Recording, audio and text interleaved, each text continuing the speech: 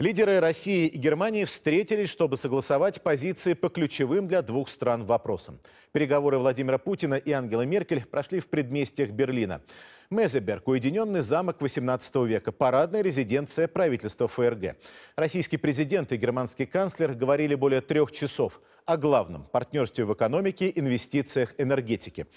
Но двусторонняя повестка – это лишь часть тем лидеров, от которых зависит многое в мире. Москва и Берлин ищут общие подходы к решению украинского кризиса, говорят о гуманитарном урегулировании в Сирии, чтобы туда вернулись запланившие Европу беженцы. А тут еще торговая война, затеянная Вашингтоном, сыграла на сближение. Из земли Бранденбург, где проходили переговоры, репортаж Ивана Благова. Какой же городок бывший ГДР без пластикового трабанта во дворе? Софи Мари от него без ума. Совершенно потрясающий запах, а этот звук очень классный. Когда едешь, еще все трясется. Это здорово. Девушка так сильно надавила на педаль газа, что трабант ее, кажется, могли услышать и в гостевом доме правительства, замке Мезеберг. Звук этого мотора хорошо знаком как Ангеле Меркель, выросшей в Восточной Германии, так и Владимиру Путину, который там работал. Кстати, российского лидера местные жители встречали тепло. На пути следования его автомобиля красовалась даже приветственная надпись на русском языке. Президент Путин добро пожаловать в Мезеберге у друзей. Россия вперед! Меркель должна дистанцироваться от Америки. Это мое самое большое желание. И вот в таком милом городке под Берлином, где буквально в 100 метрах от припаркованных лимузинов пасутся лошади и гогочут гуси, начались российско-германские переговоры. Вторая встреча за три месяца и первый рабочий визит за пять лет. Что это, потепление? Скорее всего, нет. Но, как отметил официальный представитель правительства ФРГ, Россия – та страна, без которой различные международные проблемы не решить. Они говорили и говорили свыше трех часов. Сначала наедине без переводчика, затем на деловом обеде. Пресс-секретарь российского президента Дмитрий Песков комментирует закрытые для журналистов переговоры так. Есть понимание двух лидеров, что газопровод «Северный поток-2» нужно оградить от неконкурентных нападок третьих стран. Совершенно прозрачный намек на США. О новом газопроводе, кстати, оба лидера высказались в самом начале встречи. «Северный поток-2» — это исключительно экономический проект. И он не закрывает возможности продолжения транзитных поставок российского газа через территорию Украины. Я знаю по этому поводу позицию федерального канцлера, который э, постоянно эту тему поднимает. Хочу отметить, что э, главное, чтобы этот транзит украинский, он традиционный для нас, соответствовал экономическим требованиям, был экономическим во всех смыслах этого слова. Я считаю, что даже после запуска «Северного потока-2» Украина должна играть свою роль в газовом транзите в Европу. И я очень довольна, что нам удалось начать переговорный процесс по этой тематике вместе с Европейским Союзом. Немцы пишут об осторожном сближении, о Путине и Меркель. Эти двое нужны друг другу. У России и Германии сегодня больше э, схожих интересов, чем когда-либо. И этот факт является незапланированным следствием агрессивной политики администрации президента э, Трампа. И, наконец, двустороннее торгово-экономическое сотрудничество, в котором заинтересованы и Россия, и Германия. Э, и палки в колеса этому процессу ставят, а, опять же, Соединенные Штаты.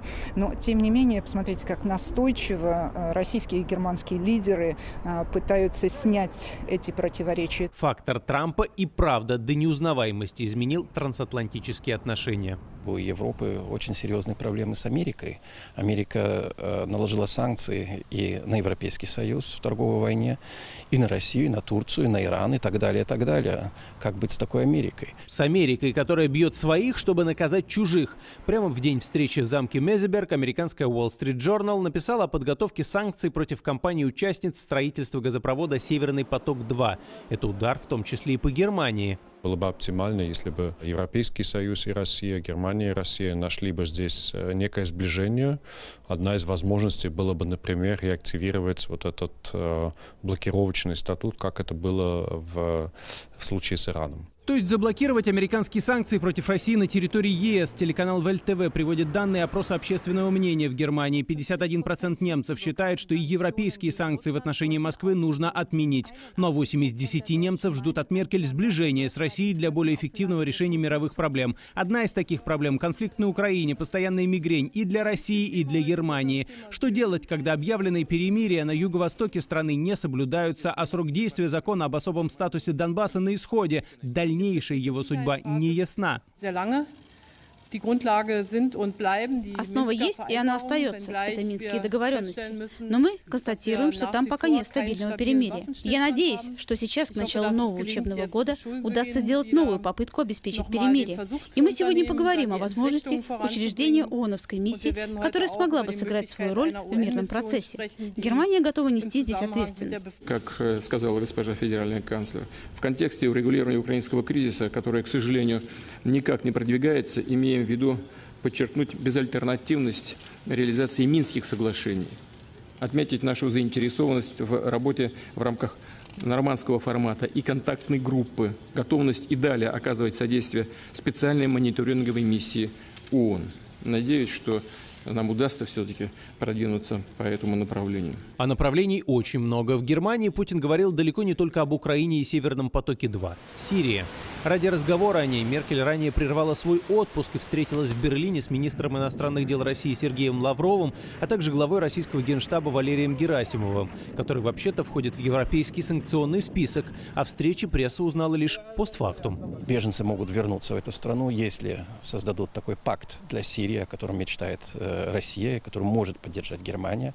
А это спасло бы э, репутацию и канцлерство госпожи Меркель. Совсем недавно она едва удержалась в своем кресле. Канцлера до сих пор критикуют за то, что в 2015-м страна приняла сотни тысяч беженцев. Вопрос их возвращения для нее крайне важен. Лишь месяц назад сирийский «Красный полумесяц» впервые раздал в городе Дума провинции Восточная Гута российско-французскую гуманитарную помощь. Этот совместный проект Москвы и Парижа стал первой ласточкой, первым сигналом. Такое сотрудничество с Европой возможно. Война близка к завершению. На восстановление Сирии нужны миллиарды евро.